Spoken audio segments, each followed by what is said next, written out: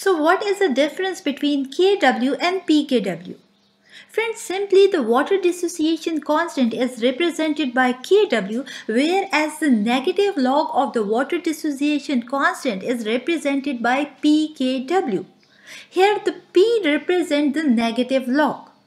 Friends, pKw is the negative log of the Kw. So here we know that the Kw value is 1 into 10 raised to the power minus 14.